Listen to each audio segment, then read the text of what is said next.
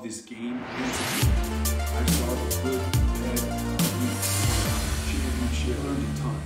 YouTube, what is going on? My name's Elliot. I'm a former Division One regional All-American center back. I was a two-year captain at Lehigh University.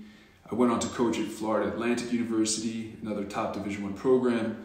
We won a conference championship. As the head of college recruitment there, I learned a ton. I saw the good, the bad, the ugly of this process, of this game, and it's a game.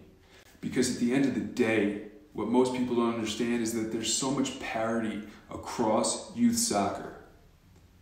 That's why you, as parents or directors, sometimes just can't understand why your child's not getting the looks you think they deserve. But I'll tell you this, and this is the most important part this is a sales and marketing game at the end of the day because when there's parity across all levels, what it takes to get to the next level is consistency, walking through fear, getting uncomfortable, picking up the phone, doing things that student athletes haven't done before to get the visibility and awareness and exposure that they really need. What do I do? I'll tell you one thing I don't do. I'm not selling you anything. We work with clubs. So, free from ads, free from spam. Let's just get you the information and let's help you help your child get to the next level.